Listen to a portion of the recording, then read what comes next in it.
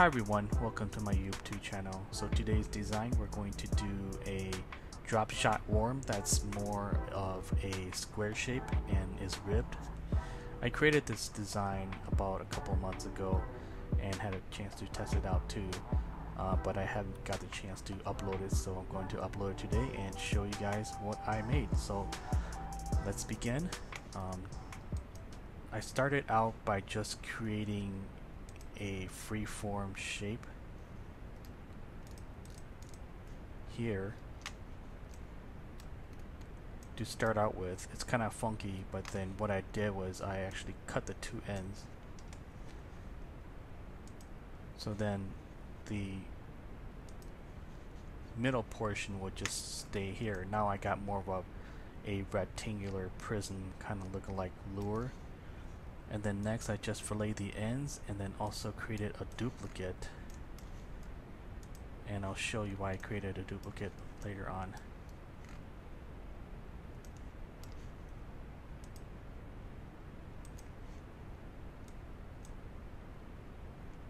So just moving the duplicate up and then next I created the rib design down here on the bottom and then move the duplicate back down. And then scale the duplicate to create the inner body of the square worm. And then just um, make it look a little nicer by filleting the edges. So now we have our basic design. Uh, what's next is just to scale it to uh, whatever thickness um, I prefer. So I'm going to just show you guys at the end the thickness that I chose. So this is the final product right here.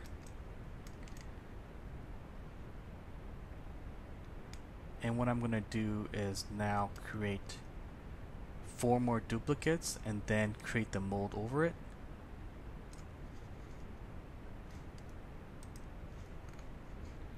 So I'll just show you guys quickly the mode that I created.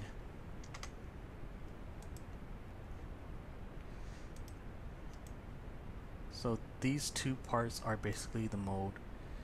Uh, if we take a look at the bottom, there's going to be five worms. So each time I inject plastisol, I'm going to get five worms. And then also create some ventings along uh, the the worm as well. And then what's next is just uh, 3D printing it in my 3D resin printer and then shooting plastisol and then we'll test it out in the tank. And then hopefully um, get the chance to go out and catch some more bass with it. So um, stay tuned. Thanks for watching and um, I'll see you guys in a bit after when I created the mold. Alright, we are back, and I created the mold using my 3D resin printer. So I'm just going to show you guys uh, how it turned out on the inside. So here we have our 5 cavity worm. Turned out pretty decent. And then we also have the pins on the left side, so when you put it together, all of the uh, cavities will align.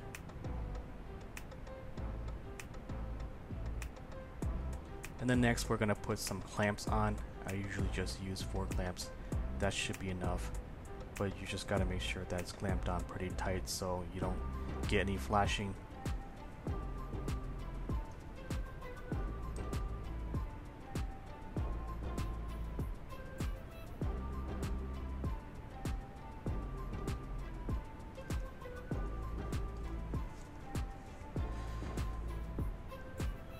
Alright, next we're going to just heat up some plastisol. So I already got some plastisol heating up in my microwave. I'm just going to give it a quick stir to get rid of the bubbles.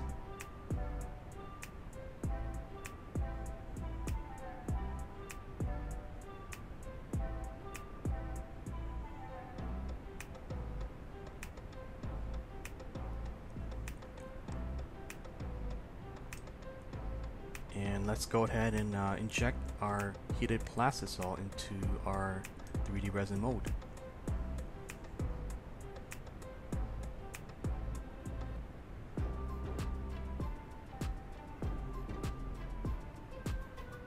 Just do it with light pressure and then uh, hold the pressure for a little bit, make sure that all of the areas within the cavity is full.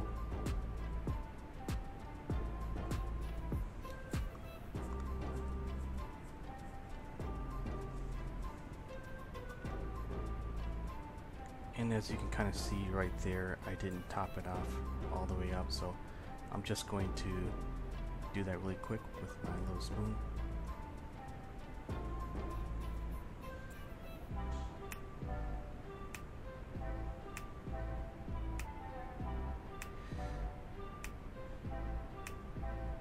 And then now we wait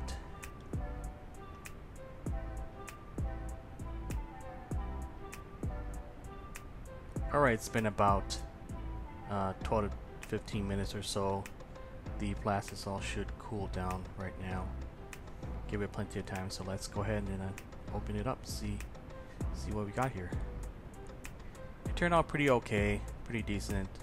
Uh, you can see some bubble on the top left right here, but uh, the rest of them down the bottom turned out okay. So I'll give you guys a little closer look at one of them.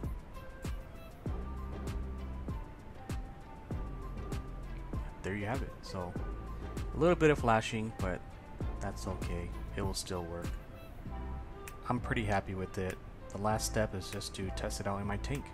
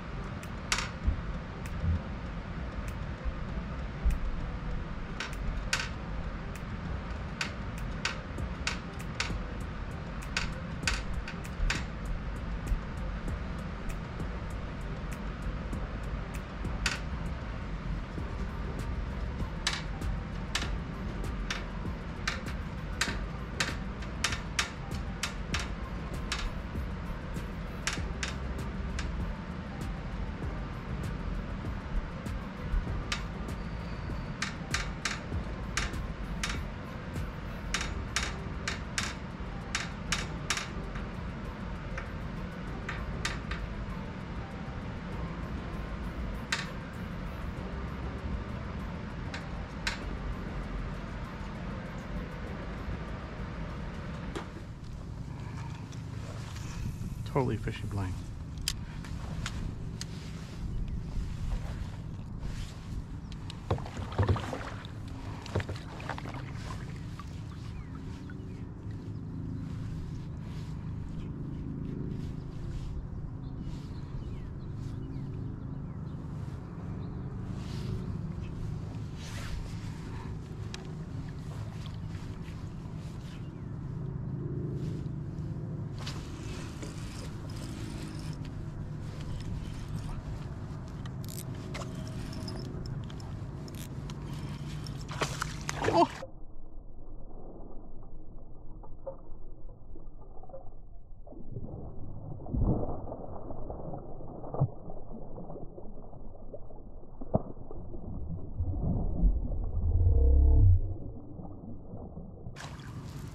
What the heck?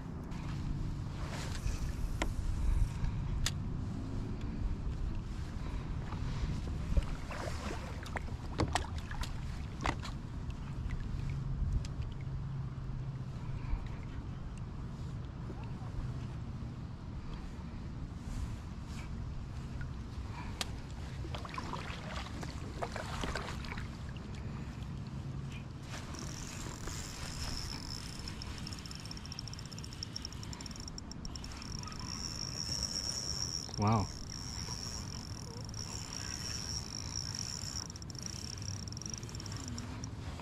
big one, big one.